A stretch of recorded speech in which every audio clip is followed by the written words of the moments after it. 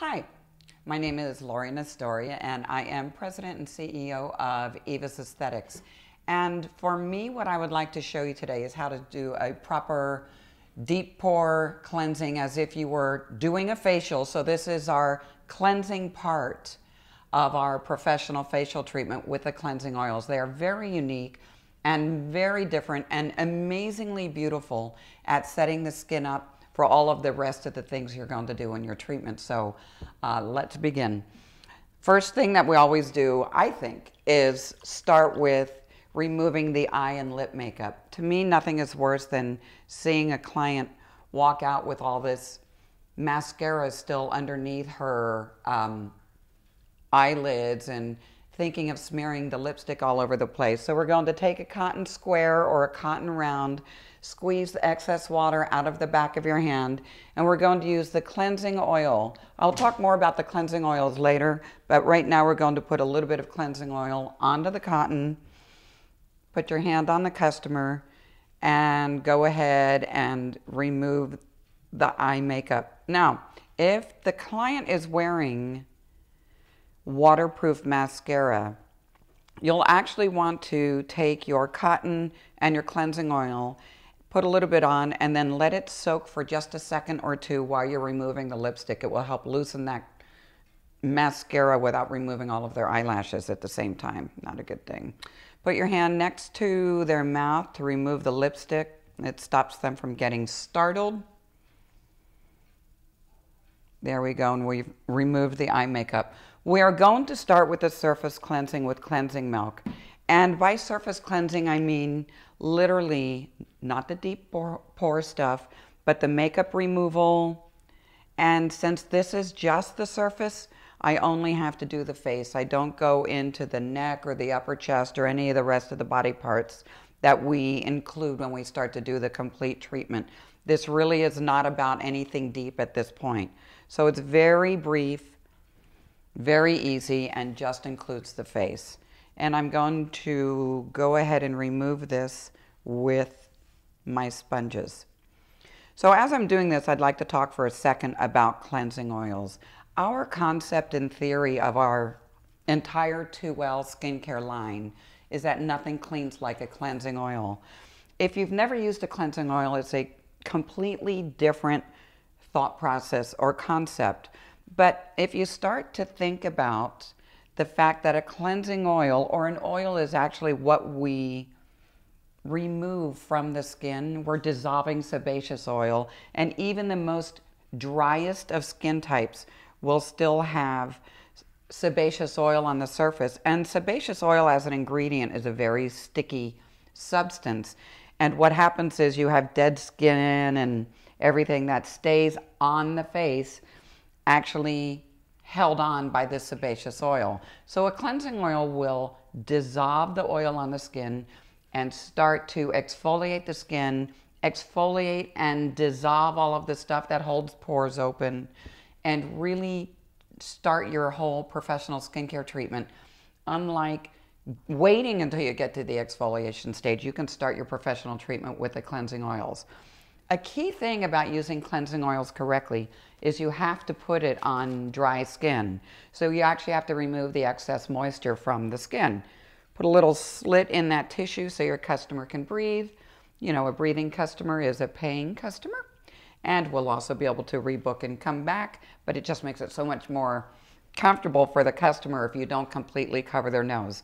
So I don't like any wiping to go on with tissue, so we're just going to blot. And the goal of this is just to remove the moisture so that when we apply the cleansing oil, it is on dry skin and the cleansing oil can actually marry the debris and the sebaceous oil that we are going to rinse off. so now I'm going to actually start what I would consider truly part of the facial treatment, which is the décolleté, the neck, and the face. One of the things about anti-aging that I think that we really ignore is that aging is probably on the hands and the neck and the upper chest, almost more on the face. So don't ever forget those body parts. I don't care the age of your customer or their goal. Make sure you really pay attention to those body parts so that you are including your amazing treatment on everything that really matters. So I'm going to massage this cleansing oil for a few minutes. Again, this is actually how we would do our professional facial treatment. This is not how she would wash her face at home. And we always do a much deeper cleansing in the facial treatment than we do at home. So I want you to make sure that you take care of all those little tiny body parts. Make sure you get the upper lip, the chin, the neck, and the shoulders, and massage it for just a few minutes. Now I'm going to add a product, and it's called Herbalizer. We have herbalizers that are, and cleansing oils, customized for each skin type. And what I'd like to show you is that it's brown if you can see it. It's sugar, it's plant sugars. So it is supposed to be brown. It actually smells very, very sweet because it is indeed sugars from plants. And this particular product actually will make your cleansing oils water soluble. So you can't just use the cleansing oil by itself. You use the cleansing oil, you massage it in, and then you use the herbalizer directly over that, and you do the same exact massage over so that you are bonding the debris and sebaceous oil of the skin with the cleansing oil, and now you're actually bonding the oil and the herbalizer. All sugars are humectants, so you're helping hydrate the skin at this point with the herbalizer, but then on top of that, you're making the cleansing oil water soluble.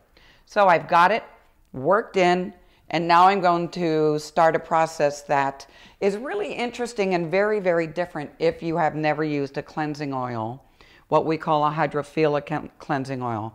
Can you see what's happening to her face, to her skin?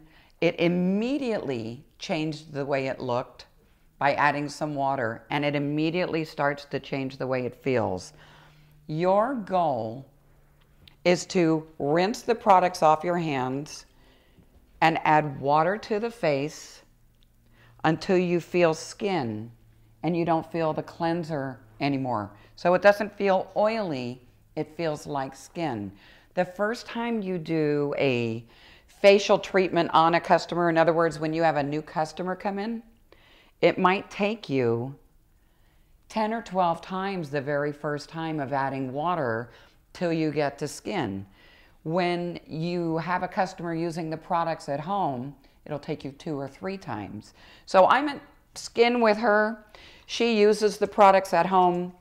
She's a professional esthetician herself and actually uses the products in her back bars. So her skin is already um, exfoliated and the stuff, the dead stuff that hangs on is dissolved because I've already done a really good cleansing and because she uses the products at home. So it will only take adding water once or twice with her. So we're going to go ahead and use the barber towel. And I always use diapers. They're soft and absorbent. Very easy to manipulate. If you've never worked with water like this, it feels very drippy and interesting at the beginning. You just have to make sure that you go behind the neck. But when you use a cleansing oil and in your professional facial treatment and you learn how to use them properly, I promise you nothing will clean the skin like a cleansing oil. And when you clean with a cleansing oil, everything else is enhanced. So I invite you to try them and have a good day.